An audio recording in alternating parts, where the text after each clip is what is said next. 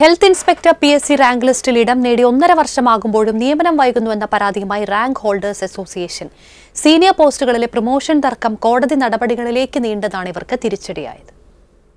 Vaishnav റൂബിയും rank ലിസ്റ്റിൽ മുന്നിലുണ്ട്. പക്ഷെ ഹെൽത്ത് ഇൻസ്പെക്ടർ ഗ്രേഡ് ടു തസ്തികയിൽ നിയമനം കിട്ടാൻ മടുപ്പിക്കുന്ന കാത്തിരിപ്പ് തുടങ്ങിയിട്ട് ഒന്നര വർഷം കഴിഞ്ഞു. ഒരു വർഷം കൂടി മാത്രമാണ് റാങ്ക് ലിസ്റ്റിന്റെ കാലാവധി. ഇനിയൊരു അവസരമുണ്ടാകില്ലെന്ന് ഓർക്കുമ്പോൾ ഞെട്ടലാണ്. ഞങ്ങളുടെ ഏജ് ഓവർ ആവാറായി. ഇനി ഒരു എക്സാം എഴുതി ലിസ്റ്റിൽ വരുന്നത് വളരെ പ്രയാസമേറിയ കാര്യമാണ്.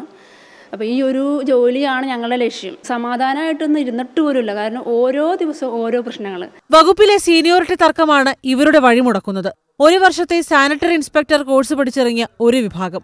പിന്നീട് കോഴ്സ് നവീകരിച്ചതോടെ പ്ലസ് ടു സയൻസ് ഗ്രൂപ്പ് അടിസ്ഥാന യോഗ്യതയിൽ ഹെൽത്ത് ഇൻസ്പെക്ടർ ഡിപ്ലോമ കോഴ്സ് പഠിച്ച് ജോലി തുടങ്ങിയ മറ്റൊരു കൂട്ടരും.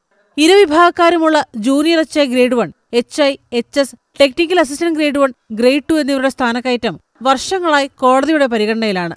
ഫലമോ പുതിയതായി ആർക്കും ജോലിയിൽ പ്രവേശിക്കാനാകുന്നില്ല.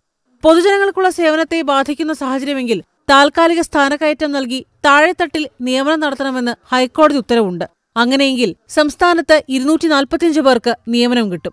പക്ഷെ ഇതൊന്നും ആരും കേൾക്കുന്നില്ല. കുറേ തവണ പരാതി പറഞ്ഞിട്ടും ഡി എച്ച് എസിൽ പറഞ്ഞുകൊണ്ടും നമുക്ക് പ്രയോജനങ്ങളൊന്നും ഉണ്ടായിട്ടില്ല. അത് കാരണം കൊണ്ട് ഞങ്ങൾക്ക് ഇനി ഒരു വർഷം രണ്ട് മാസം കൂടിയുള്ള ഞങ്ങളുടെ ലിസ്റ്റിന്റെ കാലാവധി തീരുമാനം. അപ്പോൾ ഞങ്ങൾ ആകെപ്പാടെ ഒരു നിസ്സഹായാവസ്ഥയിലാണ് സംസ്ഥാനത്ത് ഡെങ്കിപ്പനി എലിപ്പനി കേസുകളിൽ മുൻവർഷത്തേക്കാൾ വർധനവുണ്ട്. മഴക്കാലം മുന്നോട്ട് ആശങ്കയായി നിൽക്കെയാണ് പ്രതിരോധ പ്രവർത്തനങ്ങൾ ഉറപ്പാക്കാൻ ഉദ്യോഗസ്ഥരില്ലാത്ത ഗുരുതരാവസ്ഥ. ഏഷ്യാനെറ്റ് ന്യൂസ് കൊച്ചി.